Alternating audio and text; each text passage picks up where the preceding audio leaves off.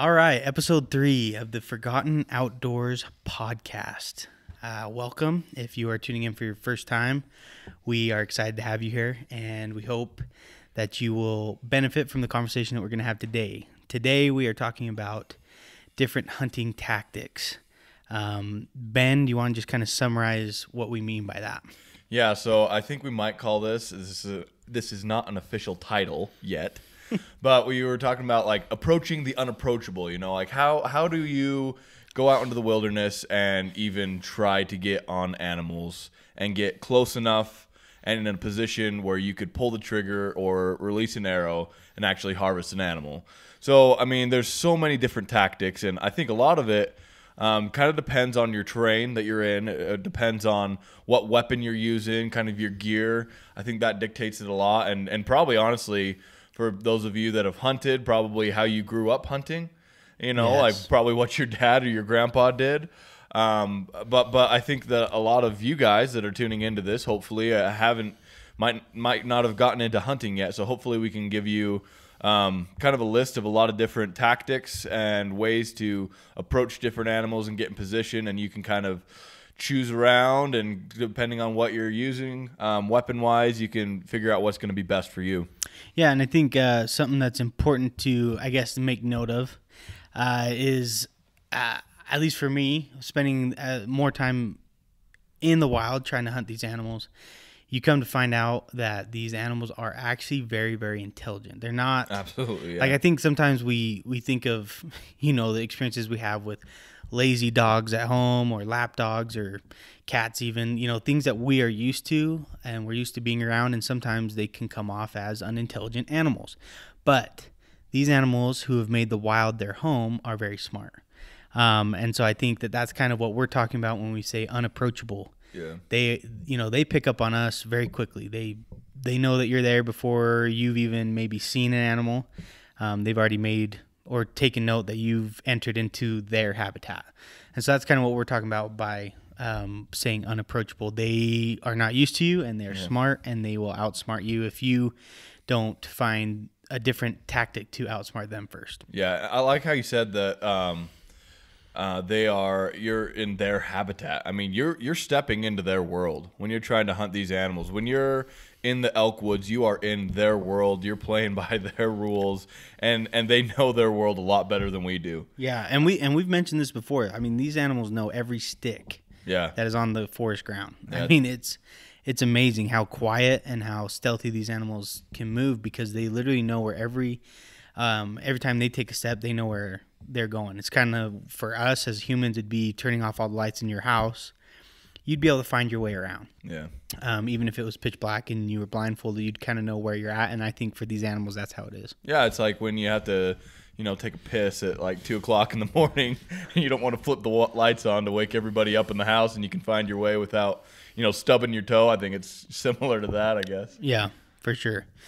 Um, so we're just going to kind of get into it. We're going to talk about different ways that we've hunted before. Um, some we are more familiar with, some we're less familiar with. Um, in all of these, or in all of our episodes, we always encourage you to reach out to us, uh, give us suggestions, give us advice, and as we're talking about these things, we'd love to hear some of your experiences with these different hunting tactics. What's worked for you? Maybe what hasn't worked for you, so that we can kind of share those learning experiences with all of our listeners. Yeah, and, and I guess another thing before we get into all these different tactics is with all of these, um, we're from southeastern Idaho, so the state of Idaho. Um, you guys might be in Idaho, you might be in different states, but different states, just so you, you guys know, you might know this already, they have different stipulations and regulations, um, laws in place when it comes to hunting and how to approach that.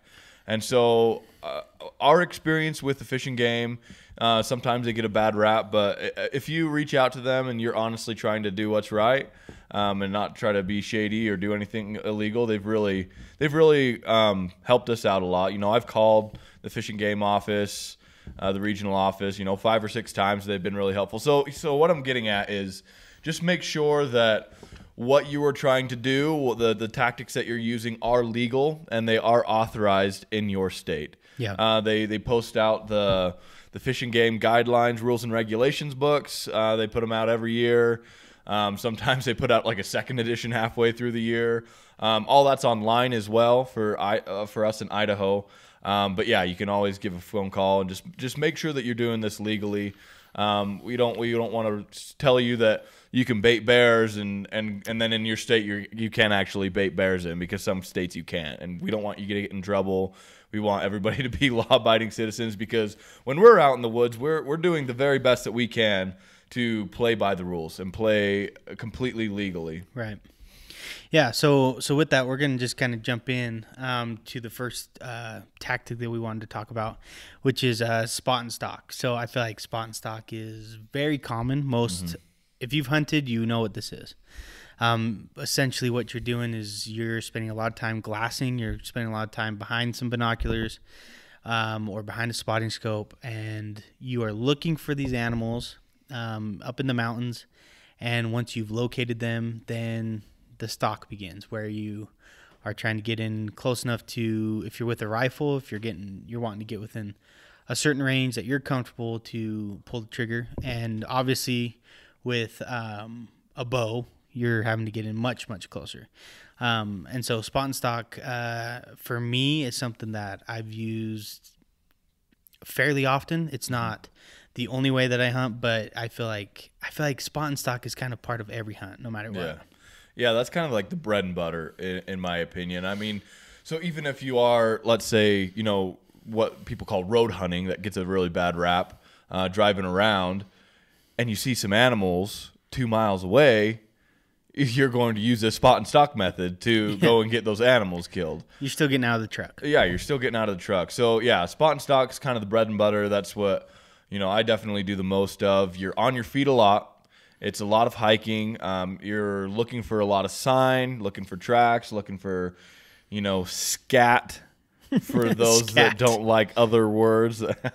yeah, that's the that's the official term. But yeah, you're, you're looking for sign.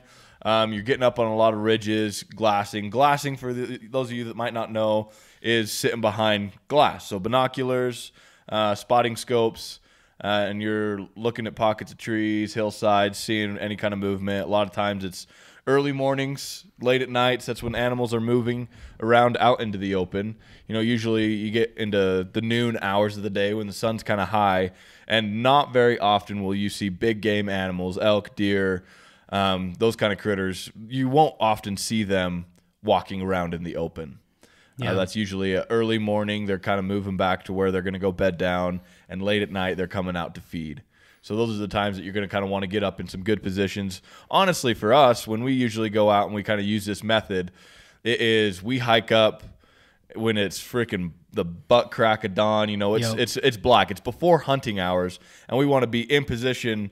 I don't know, usually 30 minutes before legal hunting hours, so that we're sitting there, we're quiet we let the world settle, and then you know, 30 minutes to an hour later, legal hunting hours, which in Idaho is 30 minutes before sunrise, pops up, and that that's that's what we've had the most luck with, and me personally have had the most luck with. For sure, yeah. So I, I guess just you know, quick story for me. So um, Ben kind of mentioned how when you're road hunting, oftentimes that leads to a spot and stalk. Um, this actually, this last year, I went on an elk hunt um, ben actually came out with me one day, um, but it was a completely new unit, totally new area, never been there. Um, I drew an elk tag, and so. Uh, can I cut in? Yeah, quick? for sure. So for our listeners that don't know what like drawing a tag is, I know this might be really basic for some of you guys, but I know that a couple years ago I didn't really understand this concept. So there's over the counter tags, general tags that anyone can go buy if you have a hunting license. Um, and then there are draw tags uh, or controlled hunts, as they call them. And that is where, and states do it differently, but that's in Idaho. You pretty it's much essentially a lottery. It's a lottery. You put in for a drawing, you pay like five, six bucks, whatever it is, and your name kind of goes into a hat, um, and they could possibly draw you out. And it's you know a select number of animals in a select area at a select time, and it's usually pretty good odds. So yeah, that's what Thomas drew on. He he drew on this really awesome elk hunt in this area that was far away, and we had never hunted yeah. it before. And and this place is, I mean, it's just desert, so it's very flat. Um, you can see for miles in any direction when you're out there. Big desert, big yeah. desert. So so me and Ben actually went out one day. Um, and we just drove roads because, like I said, I'd, I'd never been there. Ben never been there. This was new for both of us. So we went out, we drove roads, we looked for, um, you know, we were kind of hoping to maybe spot a herd of elk because it was time. It was the time of year where they should be herding up, uh, getting in big groups, and so we were kind of just driving looking for that. Um, unfortunately, when me and Ben were out, we never saw a thing. I mean, we we a saw, lot of antelope. yeah, we, we saw antelope, elk. but we didn't see any elk. So what happened was I ended up going out um, again with another buddy. Uh, shout out to Sam who helped me find my elk. But we actually drove and it, we just kind of pulled over the truck and I was like, "Look, I am at a loss." And Sam's like, "Well, let's just walk. You know, let's just get out of the truck. Let's just walk." And sure enough, when we walked, because this was a desert, there was all these knolls and these hills and things that you, I mean, an entire herd of elk could be hiding behind one of these knolls and you never know it. Yeah. So this this point it's like midday. So again, kind of like what Ben's saying, not an ideal time to be looking for animals.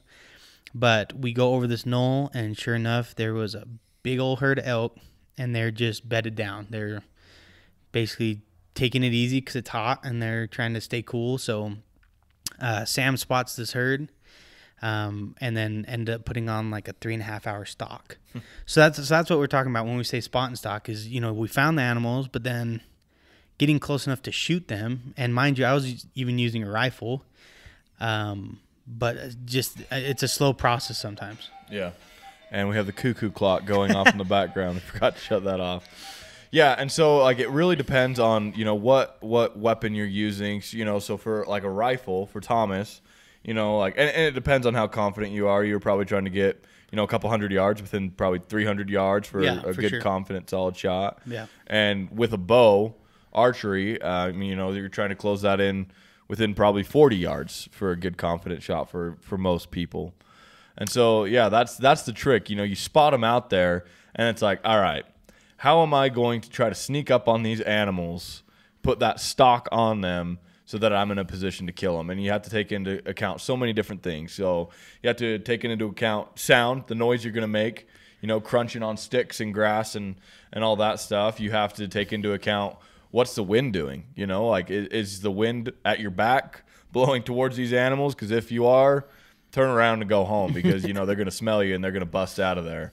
And so yeah, and, and line of sight, you know, if they can see you, you need some kind of cover, uh, defilade so that you can you know creep up on them without them seeing you. So it's a fun game. That I mean, that's the kind of the bread and butter. Like Thomas was saying, he was driving around and it turned into a spot and stalk. Yep. And that's happened a lot of times for me. Even even you know even if you're like, oh, I'm not a road hunter. I don't hunt out of a truck. Well, you might be spotting and stalking in one area, and you're like, "Ah, let's go try this other area. It's a couple miles away. You hop on the four wheeler, you hop in the truck, and on your way, you see some animals Yep. in your unit. It's like, all right, now now it's game on. Let's spot and stalk from here. Yeah, for sure. And I think just kind of transitioning into our next tactic we want to talk about, I think when you know Ben's talking about archery hunting, having to get so close, sometimes it's just better not to even take a spot and stalk route. Sometimes, um, you know, talking about our next tactic, it's better to just tree stand hunt. Um, I have tree stand hunted with a rifle, but I would say the majority of the time, people who are tree stand hunting are using a bow because I mean, essentially, you're hoping the animal that you're hunting is going to walk within distance of your tree stand, mm-hmm. and you're going to get a good shot off. Yeah, yeah, I'd say that's yeah, that's probably pretty accurate. You know, in this area, I would say, you know, most people that are using tree ha- tree stands to hunt are using, you know, bows. And, and I guess I don't know. I guess that depends on the animal as well, because you know, for for Thomas and and for me as well. But your only um, experience tree stand hunting has been for bears, right? Yeah, for sure. Yeah. So, um, and for me, it was not only my first tree stand hunt, but it was also my first black bear hunt. And so I was a little bit uneasy anyway, just not super Yeah. confident. So for me, I was like, I would rather have the firepower Yeah. than trust putting my trust into an arrow. Yeah, and I, and I think you like even going further than that, when you're hunting bears, usually you're not using a tree stand for the sake of getting close. I mean, it helps that you are getting close. You want to put your tree stand in a good, decent shooting distance, but I think more than that, you are you're setting up a stationary location where you're planning the bears to come to. You know, Right. so you, you're sitting up in a tree and the bears are going to come right to you. I think that's why people hunt at a tree stand so much is that you know it's a lot it's a lot harder for the animals to smell you. It's a lot harder for them to see you or hear you when you're 20 feet up in a tree. They still can. Don't get me wrong, Yeah. they still can, and and it puts you a little bit at ease that you're 20 feet up in a tree hunting bears. Although I have seen a bear climb a tree, Yes. and like I blinked and it was like at the top of a tree before. You know how they say like a bear can climb a tree faster than it can run. I think that's true. It's pretty it's pretty crazy. They're they're a fun animal, but anyway, besides the point. Yeah, tree stand hunting it's it's a different beast on it in its own. You know, we we've done it um, with our bait that we use for for bear hunting. I've I've used it for whitetail hunting, um, and kind of a reason behind that is uh, one I hunt them archery, um, and they're very they're a very spooky animal. Um, and where I hunt whitetail and where most whitetail hang out, it's not a huge area. Usually, it's fairly close to houses. Um, it's fairly close to civilization. Usually, river bottoms where there's a lot of dense brush. Um, it's not like 10 miles back into the backcountry Yeah. like elk hang out. So it's, you know, I hunt down on this one river just in the river bottoms. Um, I can kind of see some tops of houses from my tree stand. And in Idaho, you can't bait. So it's not like a bear hunt where you can bait these deer. In a lot of places, you can. Like my wife, she's from Oklahoma. Um, and she has family in Kansas as well, and they do a lot of deer hunting over there. Um, and I've gone and sat some tree stands in the mornings, and they they can they everyone over their baits. You know, they have they have food plots, they have corn feeders, um, which is great. You know, and it, and it brings in some awesome bucks. But everyone else is competing with them, so you know it's just as challenging. Yeah. Um, but yeah, so what we're trying to do here is you try to you set up a lot of trail cameras. Uh, those are motion sensor cameras out there that you know something walks by, it snaps a picture, and we do a ton of that of moving cameras around, trying to figure out what's the pattern of these deer, what game trails are they usually going, and at what time of year are they going down these trails that I'm going to be sitting in the stand, and that's where we try to set up our stand. So it's not like they're coming into a bait like a bear would be, um, but that we are in shooting range and quiet as they walk down this game trail. Yeah, so essentially, you, when you're hunting that way, you're just looking for high traffic areas, Mm-hmm. um, you know, and then you're basically just kind of keeping your fingers crossed that they just happen to be using that traffic area Yeah. when you're in your stand. Yeah, and, and, and I guess there there are other scenarios where you would use a tree stand. So, um, like some people I know that they elk hunt out of tree stands. You know, if they find a good wallow, which is a big mud hole, bull elk during the rut season, their breeding season, they like to get down in that mud and they like to thrash around. They roll around, they kick it up on themselves, piss all over themselves. It's pretty cool to watch. So that they, yeah, they get in these these mud wallows and they just like to just make a mess. Um, and so I, I know people that set up tree stands by these mud wallows or by a spring or even on a high traffic area up in the backwoods. I've known people that, um, and, and I've done this before too, that have a, a tree stand up in some high country and they sit up there and during the rut for elk, they bugle. You know, they'll sit up there and they'll bugle elk in to them. And that's a, that's a tactic that works as well. So, yeah, tree stands are another the- another way to get yourself in a position to shoot some big game, and and it kind of goes hand in hand with another tactic uh, that people use, and that's the blinds. Um, so you kind of have some different kinds of blinds, and it's very it's very similar to tree stand hunting. You're just on the ground. So you have natural blinds where I know I've used a lot while I'm spotting and stalking, and you see an animal moving towards Yeah. you. You grab a, a natural blind, so you hide behind some rocks, or you hide behind a bush, or kind of in a little uh pocket of brambles, or something like that, where the ground and nature itself is kind of creating a blind. You know, it's blocking you. It's that defilade. It's blocking you from view of the animal that's that's coming by. Yeah, and I think uh, you know, for me, I've I've outside of what Ben just described, I don't really use blinds.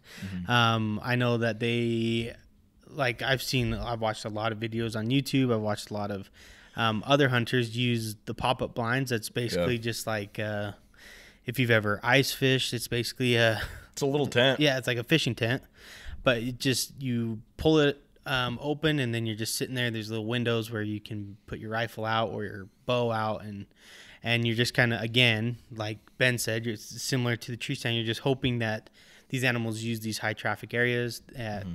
You know you happen to put your pop up tent next to, and then you hopefully you're able to harvest the animal from there. Yeah. You know, they're a great option. You know, I haven't used them a ton, but I have used them. So certain areas, you know, let's let's say we're on a whitetail hunt. Um, certain areas you ha- have these high traffic areas where you're like, man, I want a tree stand right there, but there's no trees big enough or tall enough or clear enough that I can set up a tree stand. You can throw up a blind, you know, at a water hole or on a high traffic area. I've seen people, um, which I haven't done yet. I, I haven't antelope hunted yet.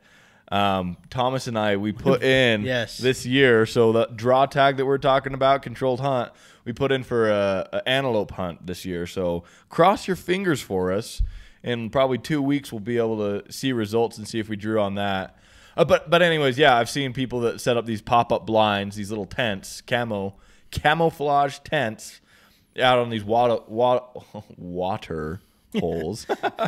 yeah, and and they sit in there and wait for animals to come in.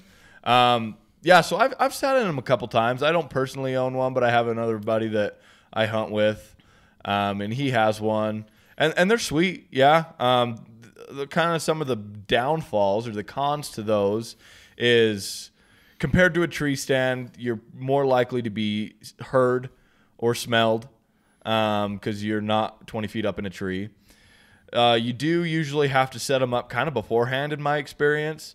I feel like if you set them up for a couple days, those animals are going to be kind of weary. Even though it's camouflage and everything, they're going to notice something is new sitting there.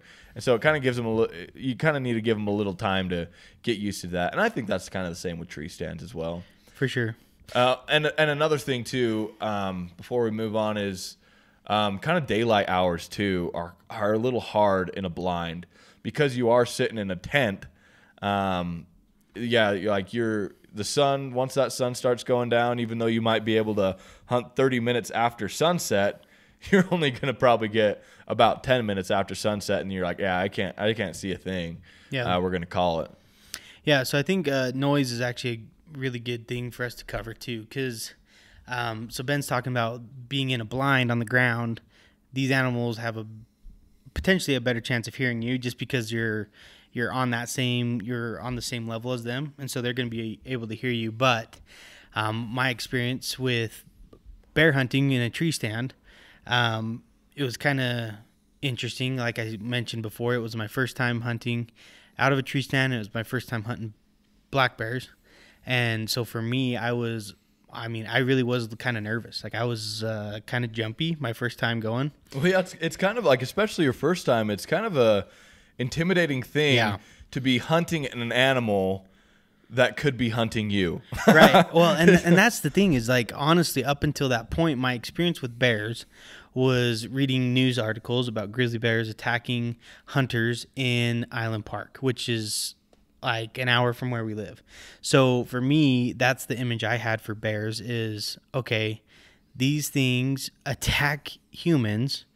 Um, my experience now, and by doing a little bit more research, I have learned that, um, especially black bears, they are very skittish. Like they, they want nothing to do with you. So unless you um, make them feel threatened, chances are they're gonna pretty much leave you alone. They're gonna run away if you make noise. They just they're not gonna come after you. That's not their first instinct. I feel like that's their instinct when they get afraid. yeah. Yeah. And, and just so that there's like, we don't want to scare anybody, but like black bears are usually very skittish. One thing to be wary of, though, with black bears is uh, mamas, like Yes, sows with cubs. with, with cubs. Mhm, for sure. Um, that that's kind of what changes um, bear, the black bears a little bit and their their temperament and their attitude is when you have a sow with cubs, they're they're very dangerous. So do do be careful. Don't think that all black bears are just fine and dandy, even though for ninety nine percent of the time they are going to be more scared of you than you are of them. And I, I would say that that's for pretty much all hunting world. So Yeah. basically, any any mom with little babies, uh, I feel like even in the human world, you, hear about mom strength. So um, I think that that's a very real thing. But back to the noise topic. So for me, on my first hunt, I'm sitting in the blind, or I'm sitting in the tree stand, and Ben was sitting in the tree stand next to me, and we're kind of sitting there. And when you're there and it's just dead quiet, you start to hear everything that's moving. I mean, like a squirrel would move, and you'd be like, "Oh, is that a bear?" You know, you like it, that's like your first thought. So, Absolutely. and there's Yeah. tons of squirrels, especially where we were because we we were baiting, so we had all this food on the ground and things, and so squirrels, candy. birds, Yeah. um, everything. They're just coming to kind of check out our our bait side as well. But I did when while we're sitting there, I hear some pretty big crashing behind me. Not like thrashing, but you know, definitely something heavy stepping on some sticks, coming through some bushes. Um, and so for me, I'm getting kind of nervous because it's behind me. I can't see it. Ben's tree stand isn't facing that way, so he can't see it. Um, and so I make a very sudden move to just turn and look. And in that second, all I could see was the back end of a bear Yeah. and it's running away. So I think noise and sudden movements are just something to be aware of no matter what kind of hunting you're doing. Um, you might think you're being pretty quiet even, but like we mentioned at the very beginning, these things, these animals are smart. Yeah. Um, and so those sudden movements that even that little bit of noise from you, your jacket rubbing against yourself while you're turning, that that could be the difference between harvesting and not harvesting an animal. Yeah. And just to clarify what Thomas means kind of by sudden movements, because I was there and I kind of saw this all unfold. Uh, I apologize to those that are just listening to this. It'll be a little bit harder, but those on the YouTube channel, they can see me. So, like, he wasn't like flailing his arms, you know, and like turning around really quick and making a lot of noise. Sudden movement was he was literally sitting here and he went like this. Yeah, just my head, head like turned. kind like a nor not even a fast, but like a normal kind of turn of the head, you know, kind of looking behind the tree to see what it was. Basically checking your blind spot in a car.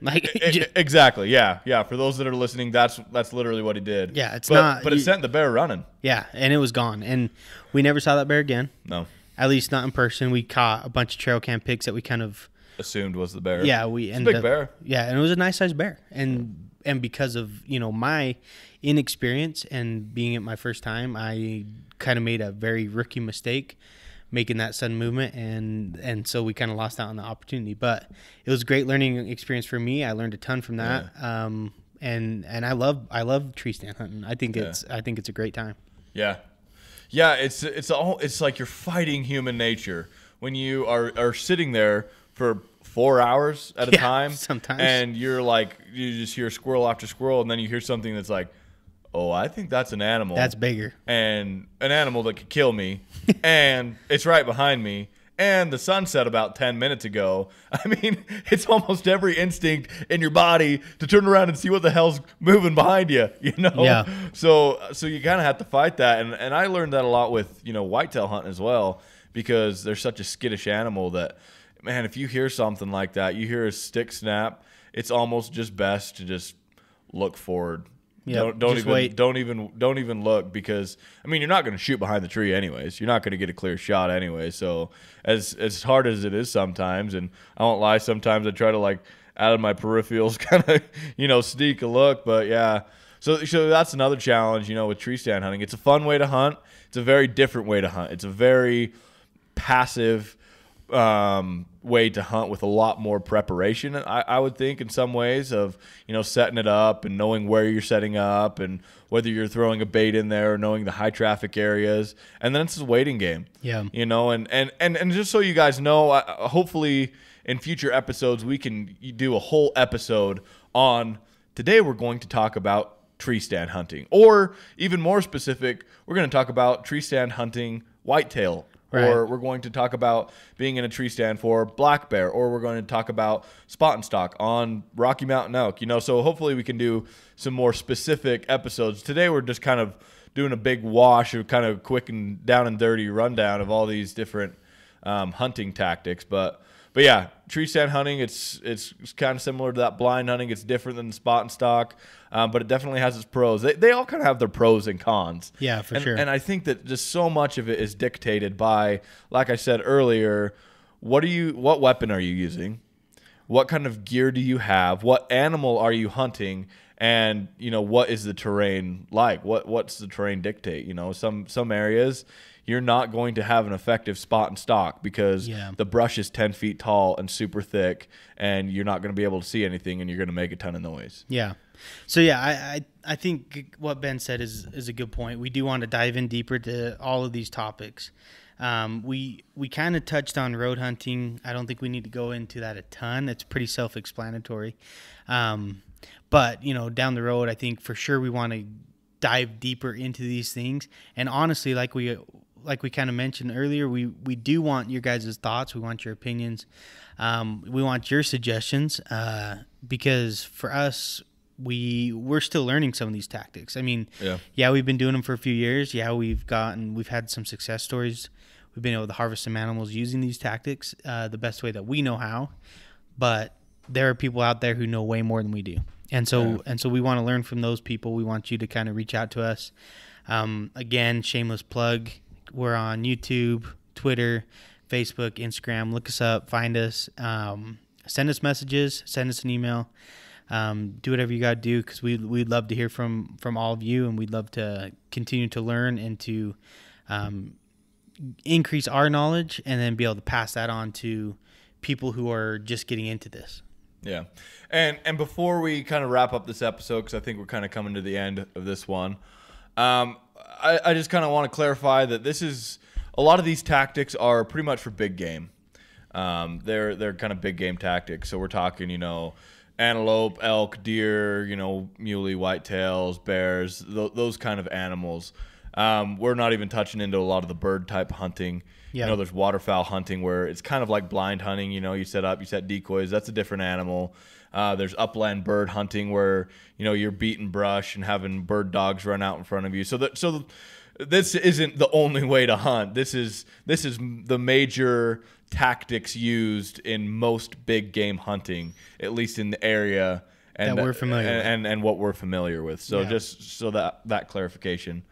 Um, but yeah, um, now that we're coming to the end, Thomas said, hit us up, let us know questions. We will say it a million times. We're not the experts, guys. Um, that's not discrediting the knowledge that we do have because we do have some experience and we do For have sure. had a, some success, some really good success. We've learned a lot, and we want to share that with you guys. But we have lots to learn still. Uh, we we every everybody does. Um, hopefully, in some future episodes coming up soon, we can get some of our so-called experts, you know, on here that that their thing is blind hunting, and we're going to talk about blind hunting, and they're going to teach us way more than we ever knew about blind hunting, for an example. So, so hopefully we can get that going quick. But hit us up with your questions. Hit us up with um, even even comments of oh yeah we really like that i would have wished you would have gone into this a little bit more or how about you guys do an episode about this because we're not doing this podcast just to hear ourselves talk Right. we want to have relevant information to give out to you guys uh, so that it's that it's worth tuning in and listening to Yeah. um, so so yeah, we're we're up on a lot of different um, platforms. We're on our Facebook, Instagram. Our our um, this podcast is up on YouTube. What are the other ones? Spotify, Google Play, Apple, Podcasts. Yep. So, So yeah, we're, we're, we're trying to get out there. We're trying to get on all the main platforms so we can reach as many people as possible. Because again, we're trying to build confidence in the outdoors, and we want people to get outside. We want people to find their own forgotten, uh, figure out what that means for you, and um, ultimately, hopefully, spark interest in trying new things and getting outside. yeah. And if you couldn't tell, like the last five minutes of that, we've really been kind of been spinning the wheels, dragging it on, and we still haven't figured out a way to end Wrap these up. And, and you know what? You know what, Tom? We we just might not. We might not find out a good way, and you're just gonna be like surprised of every time of how we. we That's what's going to keep you listening to the end, That's right. is to listen to how we wrap Like, it up. How, how stupid are these guys gonna be today? how long are they gonna drag me out before they finally give that stupid freaking clap? And with that, thank you for tuning in.